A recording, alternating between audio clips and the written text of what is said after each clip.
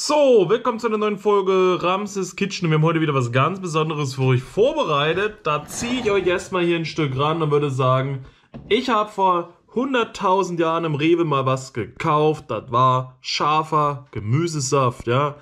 Äh, ihr wisst, ich esse gerne scharf, ich trinke auch gerne scharf, so ist das nicht. Jetzt gab es damals immer diesen, äh, diese scharfe Tomate, sieht man zum Beispiel ungefähr hier scharfe Tomate im Rewe. Müsste eigentlich jeder kennen. Dann gab es aber auch einfach scharfes Gemüse. Da ist also nicht nur Tomate drin, auch andere Sachen. Und plötzlich habe ich gesehen, es gibt ja auch scharfe Karotte. Ne? Scharfe Karotte, Ingwer, Orange, also alles drin, was man möchte. Die möchten wir heute mal testen, mal probieren. Die stehen so lange, der hier ist haltbar bis 26.05. Der ist haltbar bis 19.06. Und der dritte ist haltbar bis 8.04. Also da brennt schon die Luft. Ich bin mal gespannt, ob die überhaupt noch gut sind. Adi, es ist leer. Es ist leer. Es ist gut. Es ist leer. Du hast alles leer gegessen, ja? Da ist nichts mehr drin, weil es leer ist. Weil der Adi alles gegessen hat. Aber der isst die Packung auch noch mit, wenn so weiter geht. Wieder hin und wühlt wieder rum. Ah! Es ist leer. So. Äh, ich habe mir gedacht, ich werde mir dazu hier so ein Glas nehmen. Dieses Simpson-Glas. Werde der Mama was einschenken, bisschen schwätzeln, Farbe angucken, dann mal trinken. Und dann habe ich mir gedacht, für den krönenden Abschluss, ich habe immer noch hier den komischen Uso rumstehen den Pupsi mir mal in der griechischen Woche mitgebracht hat. Da ist noch ein bisschen was drin. Wir werden uns am Ende dann mal einen schönen Cocktail machen aus äh, scharfen Tomaten, scharfen Karotten, scharfes Gemüse mit Uso drin. Das ist doch richtig genial. Das wäre doch auf jeden Fall heftig. Wir fangen aber jetzt an mit dem, der einfach am kürzesten haltbar ist. Und das ist scharfe Tomate. Beziehungsweise fürs Thumbnail kann ich ja erstmal so tun, als würde ich hier ein cooles Bild basteln, ja. Ungefähr so. Das muss ich, glaube ich, später machen, oder? Thumbnail, so, sieht das nach was aus? Sieht eigentlich nach nichts aus. Hätte ich es ins Glas noch einfüllen müssen. Wir nehmen uns jetzt auf jeden Fall als erstes mal scharfe Tomate. Scharfe Tomate. Angenehm würzige Schärfe. Äh, Pikanter Tomaten-Karottensaft, teilweise aus Konzentrat, gesalzen und gewürzt. Also der ist trotzdem nicht nur Tomate, der ist Tomate und Karotte. Muss man den schütteln eigentlich? Wir schütteln mal. Das ist der ganze Schimmel, der sich abgesetzt hat, jetzt durch die Gegend fliegt und nicht mehr erkennbar ist. Dann machen wir den mal auf und dann bin ich mal gespannt, ob der jetzt noch gut ist oder auch nicht. Also das ist ja ein MHD, glaube ich, mindestens haltbar bis dahin. Wir machen mal immer bis zu die Füße, ja.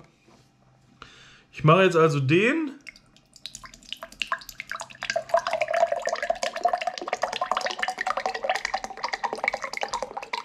Bis zu den Füße. So, mal kam da gerade eine Obstfliege raus. Es sah auf jeden Fall so aus.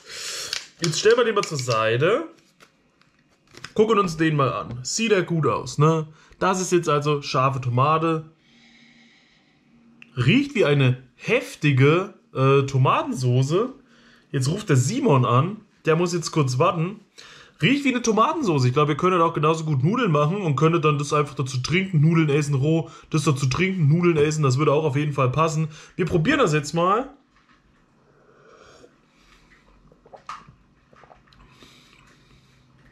Hat auf jeden Fall nichts von seinem Charme verloren. Es schmeckt nach. Ja, Schmeckt einfach nach äh, Tomatensoße, die halt ein bisschen schön gewürzt ist mit Pfeffer. Ist also ganz angenehm. Ich weiß nicht, viele mögen das. Es gibt auch Leute, die sagen, Tomatensaft ist richtig eklig, Karottensaft ist noch ekliger. Aber eigentlich darf doch keiner was gegen Tomatensaft haben. Jeder, der Nudeln mit Tomatensoße isst, mag doch Tomatensaft.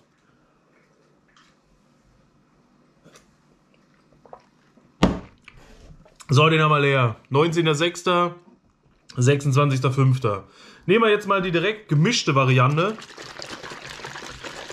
Denn ich glaube trotzdem, Karotte ist am schlimmsten. Karottensaft mag ich auch nicht wirklich so. Der ist immer so aufdringlich. Hier haben wir aber scharfes Gemüse. Scharfes Gemüse ist angenehme Schärfe und Würze. Pikanter Tomaten Gemüsesaft, teilweise aus Konzentrat, gesalzen und gewürzt. Ja, und aus was besteht jetzt das Gemüse? Tomatensaft, Karotten, Sellerie. Mhm. Okay, dann war es das wahrscheinlich. was ist hier? Da steht im Prinzip dann das gleiche draus. Tomaten, Karotten, fertig. Nur, dass da noch Sellerie dabei ist. Also im Endeffekt ist scharfes Gemüse und scharfe Tomate im Prinzip fast dasselbe, weil beides aus Tomate und Karotte besteht. Nur, dass hier angeblich noch Sellerie dabei ist. Mach mal auch mal auf, schenk mal auch mal ein. Ist auch alles aus dem Rewe, ist aber eine eigene Firma und ist kein Rewe-Produkt an sich. So, schenk mal den mal ein. Wieder bis zu den Füße. Und das spritzt alles rum. Jetzt sind wir bei den Füße. Sieht theoretisch genau identisch aus. Ist ja auch im Prinzip das gleiche drin. Scharfes Gemüse. Mal gucken, ob der jetzt anders schmeckt. Beziehungsweise, er wirkt ein bisschen dunkler. Boah, der wirkt aber auch viel fruchtiger. Also vom Geruch her 1A viel besser als der. Ist ja auch eine Rewe Hausmarke hier und das andere ist übelst das heftige Markenprodukt, wo ich nicht mal weiß, wie die Marke heißt. Einfach nur scharf heißt die Marke und deswegen machen die scharfes Gemüse.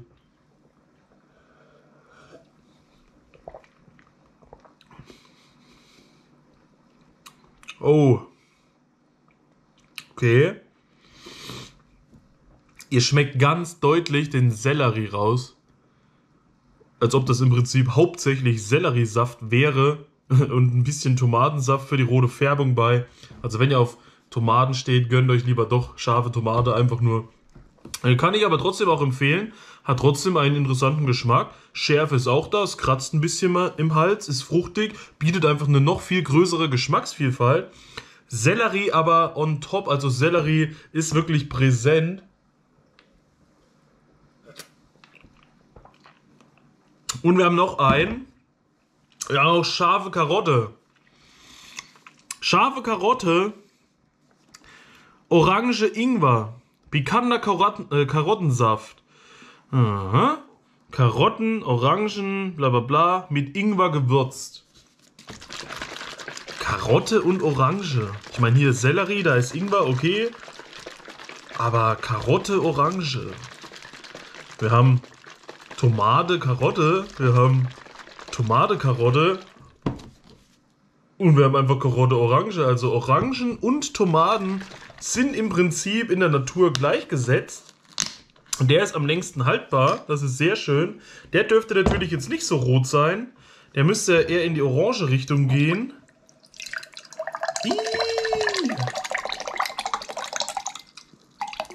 Man sieht jetzt schon, dass der im Prinzip komplett flüssig ist. Also von der Konsistenz her nicht so dick wie der Rest. Der Rest besteht ja auch viel auch aus Mark, Tomatenmark. Hier ist es eher Saft und Saft und Saft. Das heißt, ihr habt den, der ist schön orange. Ihr riecht und merkt ganz deutlich die Orange raus.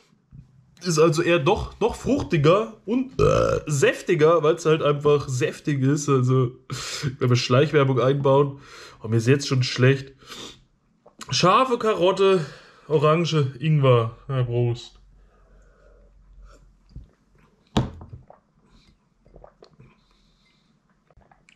Bah. Also irgendwas brennt, das würde Ingwer sein. Es riecht so schön nach Orange, aber im Abgang, du hast diesen komischen, perversen Karottengeschmack und ja, von Orange merkst du dann in dem Sinne nicht mehr viel, halt nur noch wirklich scharfe Karotte. Also für mich der schlechteste aus der Reihe. Trotzdem müssen wir den noch leer machen.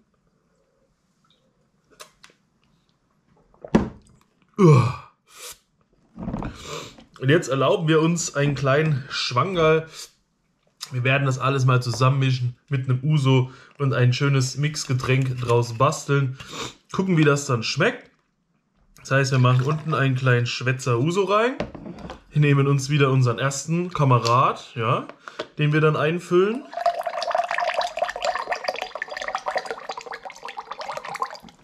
Wir machen einen weiteren Schwätzler Uso rein damit sich das auch schön vermischt, ja.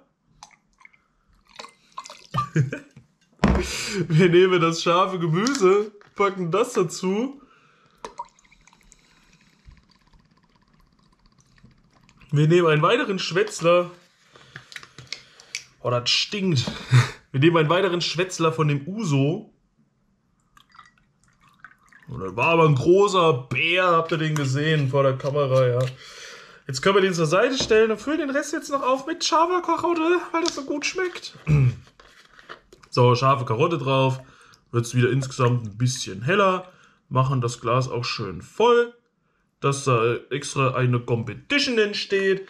Dann wäre es vielleicht jetzt an der Zeit, doch mal das, das Thumbnail zu basteln, indem wir das alles aufeinander stellen. Das hier rüber stellen. So, so und so, so sie Sau, wer das kennt, hin und her, bam. Ja, und jetzt wenn wir es rumdrehen, guckt doch mal, wie schön das aussieht. Karotte, Uso und Zeugs und irgendwie ist das alles viel zu dunkel. Ja, keine Ahnung, vielleicht sieht es ja dann in Wirklichkeit besser aus. Wir trinken das jetzt aber, das heißt, wir ziehen ihn wieder her an uns ran. Uh, Uso kann weg. Der Rest hier von den Säfts kann auch weg. Nimmt man da jetzt einen kleinen Schluck und probiert das oder trinkt man das auf Ex? Ich weiß es nicht. Ich glaube, wir probieren es mal auf Ex wegzutrinken, mal gucken, was passiert. Man könnte das Ganze auch als eine Challenge gestalten. Ich, ich nominiere mal den Flatti, den Natururin und den Kanal Phänomenal. Sich mal ein schönes, gesundes Gläschen aus scharfer Tomate, scharfem Gemüse, scharfer Karotte plus Uso zu mischen, einen schönen Vitamindrink, um in den Start zu kommen, äh, in den Tag zu kommen und dann mal wegzuhauen. Ist vielleicht eine Ekel-Challenge, ist vielleicht auch einfach nur eine Fitness-Challenge, ich weiß es nicht. Musste doch auf jeden Fall sehr gesund sein. Der Grieche gibt, uns, äh, gibt euch doch nicht umsonst jedes Mal, wenn ihr Hallo sagt, gleich ein Uso in die Hand und sagt, sauf! Und jetzt kauf, kauf und sauf und alles. Aber ich will nicht länger reden, wir wollen den jetzt hier versuchen wegzuziehen. Das war's von meiner Seite aus. Wir sehen uns beim nächsten Mal. Bis dahin. Peace out forward, euer Ramses. Und dann. Oh, ich habe so Schiss gerade. Simon ruft schon wieder an. Moment.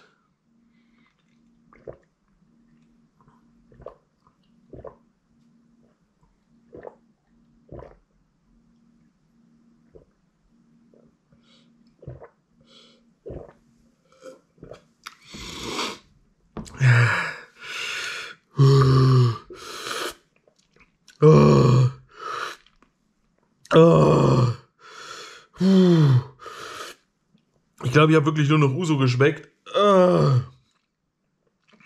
Aber jetzt habe ich einen schönen Tomaten, Soßen, Nachgeschmack im Hals. Also das ist doch wunderbar. Wer diesen Geschmack von dem Uso nicht mag, trinkt sich einfach eine scharfe Tomate dazu und oh, ich glaube, ich muss gleich aufs Klo.